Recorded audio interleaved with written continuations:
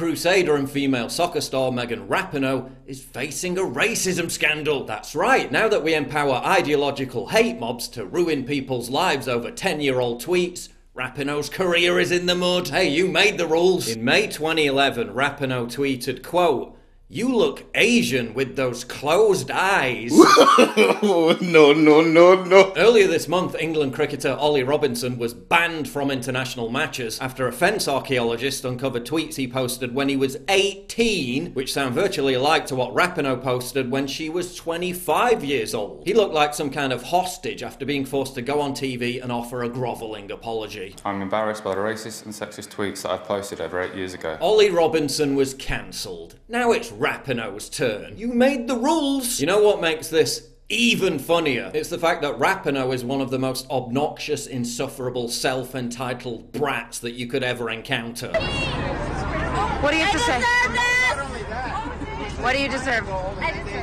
You deserve all of it. It couldn't have happened to a nicer person. She led this stupid campaign for equal pay for female soccer players, while those same players were getting thrashed 5 2 by a team of 14 year old boys. But no matter how much the sports media tries to shove it down our throats, no one's interested in women's football. It's objectively shit. Mate,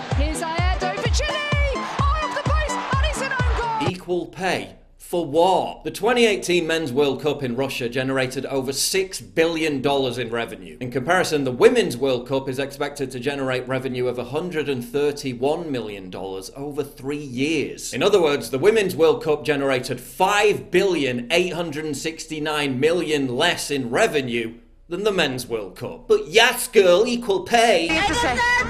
What do you have to say? No, you don't. Consider how aggressively, performatively woke Rapinoe has behaved in recent years. Refusing to visit Trump at the White House because Orange Man bad. I would not go. Kneeling for the US national anthem. gave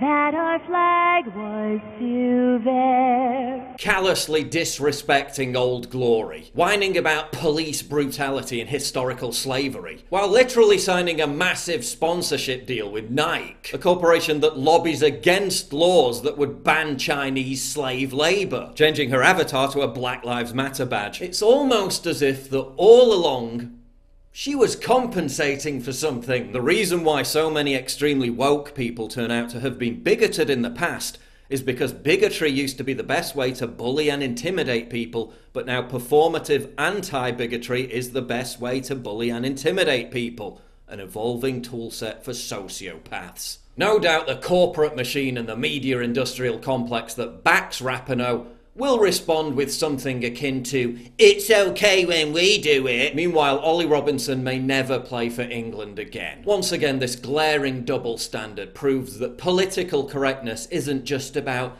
being nice to people. It's about weaponizing language to punish and publicly shame those who have failed to show enough groveling allegiance to the woke cult. It's about blacklisting those whose inferior level of performative virtue signaling has failed to satisfy the ideological purity test of the mob. Ollie Robinson's career is in tatters. Will Megan Rapinoe face the same fate? She's just become one of the new faces of Victoria's Secret after the company replaced their Angels models with Rapinoe, a Brazilian transgender, and a bunch of plus size models. Yeah, good luck with that. Totally not another ingratiating woke stunt to distract from the fact that Leslie Wexner, the billionaire founder of Victoria's Secret's parent company, had intimate business ties and alleged romantic ties with Jeffrey Epstein. Totally nothing to do with that. Will Megan Rapinoe get cancelled by Victoria's Secret? Don't hold your breath. But she should. After all, right? Hashtag stop Asian hate. Hey ho, hey ho. Rapinoe has got to go. Rapinoe should be cancelled. Her career should be finished. After all, you made the rules.